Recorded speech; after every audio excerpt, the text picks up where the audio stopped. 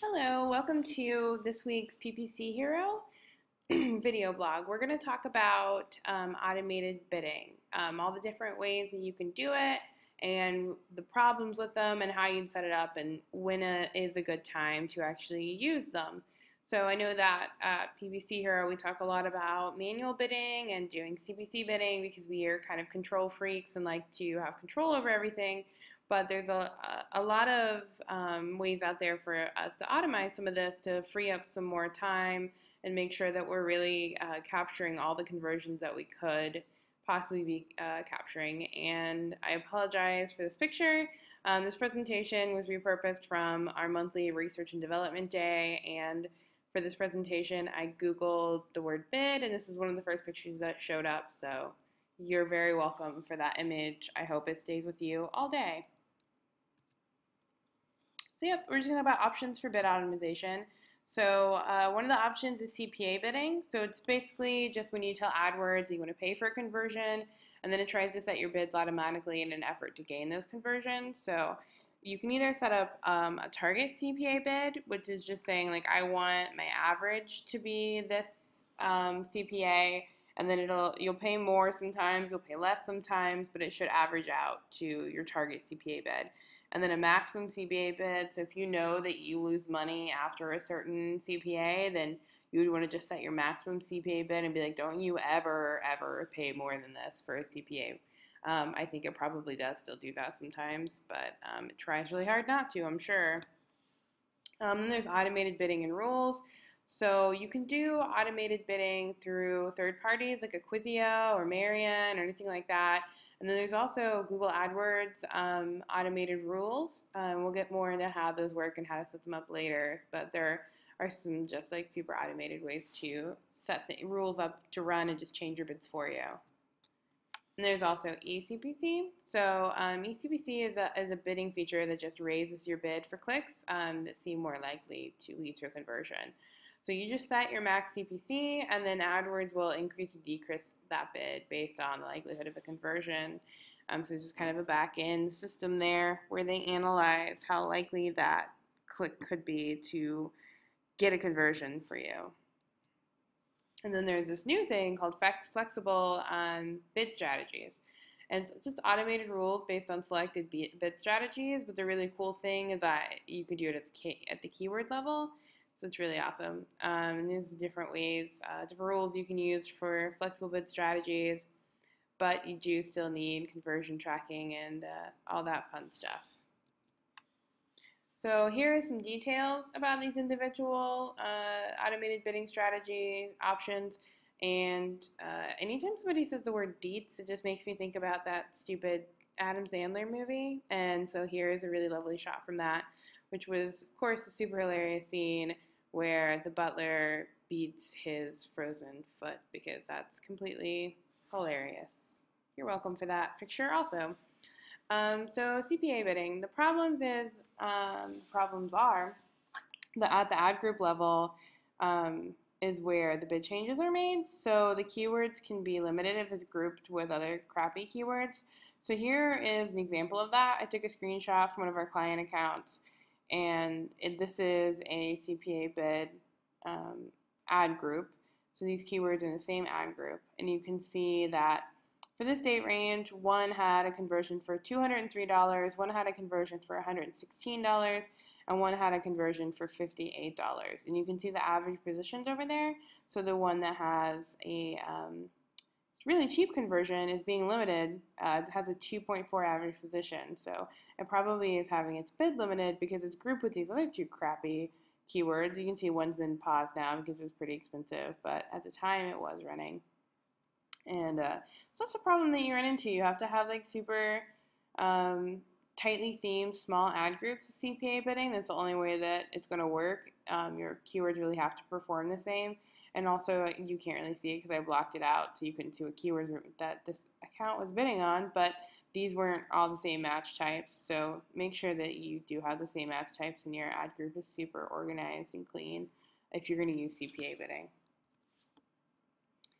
Um, so, and there's another problem with CPA bidding if you're using e-commerce because not all products sold in ad group are going to have the same value. So it's really hard to set a CPA bid on an ad group when um, the products being sold could have different values. Not only just like each individual product could have a different value. So let's say like you have an ad group for hats and you have like you sell like 20 different hats and they all have different values and bring in different revenues.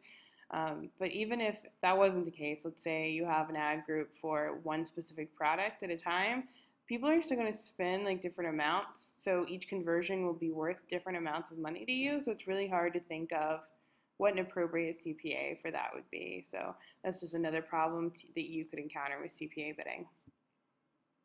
Um, performance when conversions are valued the same. So let's say you have like a lead generation um, campaign and the ad groups are all valued completely the same. Like you just want to have drive as many leads as possible and you know that each lead is probably worth about this much money or, and so that's a really easy CPA goal. Um, so here's two clients where that's the case um, and I pointed out on this little map where CPA bidding was turned on and what happened afterwards. And then the blue line is conversions and the orange line is cost. And you can see that both of them um, right afterwards seem to take a little bit of a dip in conversion and cost actually, but then a little bit later really took off. Um, and then client two kind of tapered down again. So I'm sure there was some probably back end stuff going on there. Obviously, this isn't um, cut and dry related to CPA bidding, but I think it was interesting that they had the same sort of um, issue there where it went down at first and then got pretty crazy with the conversions and cost a little down the line. So it seems, and this I would say that this has been my experience using CPA bidding as well, that um, the longer you give it, the better it will start to run. Um, it really does take a while for it to get in sync with your account and start driving volume for you. Um, so then there's automated bidding. So automated bidding um, will make, you can do this based on um, ad position if you're trying to target certain ad positions or if there's certain bid adjustments you want to make based on CPA. Um, you can pause low performing ads or keywords and you can send uh, automated emails. So it's all stuff that you can do with AdWords. Automated bidding and then um, the, the man drinking is indicating that if you use automated bidding, you might have more time to drink. But let's just say that hopefully that's not an issue for you. So eCPC, there um, are positive, so you can consider, it considers location, it considers language settings, browser and operating system, so all that's really awesome. It's uh, usable with locations and audiences, all great stuff. Um, but some caveats is that it doesn't include CPA in the algorithm, um, so that's a real problem if you have strict CPA goals, and it really runs a pretty high risk of increasing CPC it really needs a lot of history. So if you don't have a lot of history in your account, that's going to be a problem. And um, you need to know an effective CPC, so you have to really analyze your account to find that uh, for your campaign, your ad group, and your keyword. So you just want to run um, something that looks like this business over here of, for an analysis to find that kind of information. So here's when you would apply these different um, bidding types and when they would be a good choice. And again, I just Googled the word application, and this was the first picture I saw, and I thought it was really funny and goofy, and these people are ridiculous. So there you go.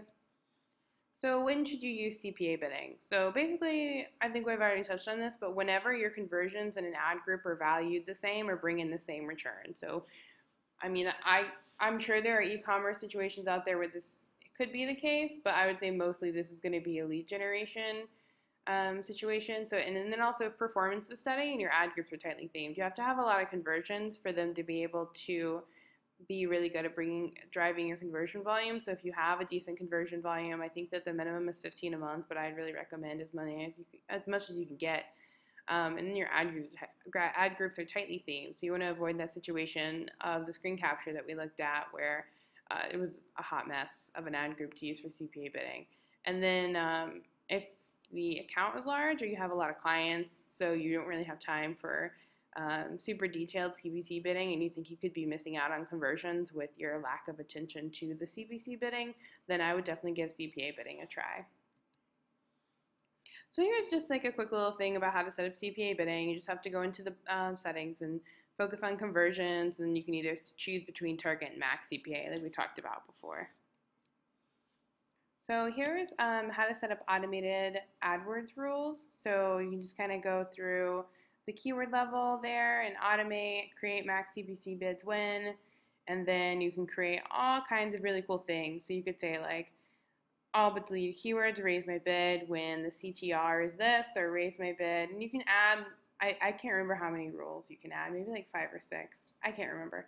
But there's a lot of rules. So you could say like, you could think of the perfect click-through rate, and you want to make sure that you raise bids on perfect click-through rates, and you can raise bids if um, the click-through rate's good, and also that the CPA is good, and also that it hasn't spent over this much money in the past 30 days. So there's really only limited by like your imagination and your own analysis. So like whatever you find work well in your account and whatever you imagine would have good results for you. So it's really cool um, and it just does it for you automatically and you can get a little email every time that the rule runs with changes and then there's a little log in your shared library that you can go check out to look at all the different um, changes.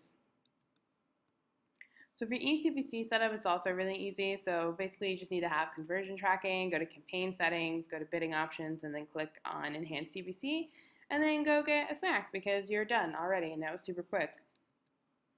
For flexible bid strategy setup, um, it's new, so I wanted to get some more screen captures in here. But basically, just go to the bid strategy button, and then you pick um, your flexible bid option, and then you create a new bid strategy. So you can see here that um, you give it a name, and then you click the bid strategy button on your campaigns, ad groups or keyword tabs, and it'll apply that bid strategy to your selection.